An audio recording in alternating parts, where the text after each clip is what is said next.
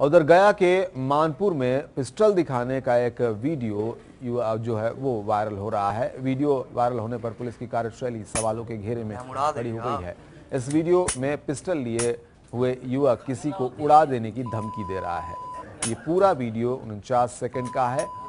वहीं video viral होते ही police ने पिस्टल दिखा रहे युवक को गिरफ़्तार कर लिया है। गया एसएसपी राजीव मिश्र ने बताया कि वायरल वीडियो में जो लड़का हथियार के साथ दिखाई दे रहा है उसको पूछताछ के लिए थाने लाया लाया गया है। पूछताछ के क्रम में अभी तक हथियार की बरामदगी नहीं हो पाई है। पुलिस हथियार बरामदगी की कोशिश कर रही है।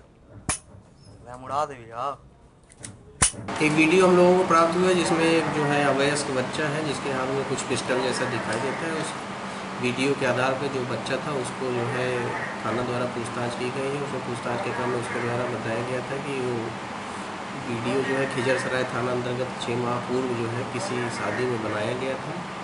तो वहाँ भी जो है मुफस्सिल थाना द्वारा छापेमारी की गई, पूछताछ किया गया लेकिन अभी तक हथियार की बरामदगी